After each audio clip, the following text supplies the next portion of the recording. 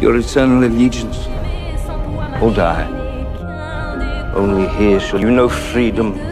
Only here shall you know yourself.